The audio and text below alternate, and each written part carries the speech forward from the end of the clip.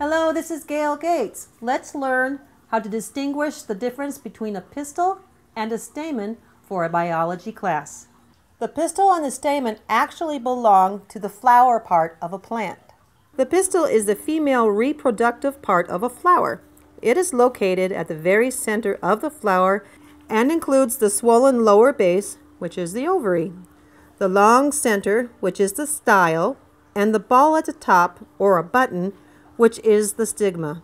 The stamen is the male reproductive part of a flower and is composed of an anther, which is part of the flower that releases the pollen. The pink tall center of this flower is the pistil, and the yellow area at the base of the pistil is the stamen.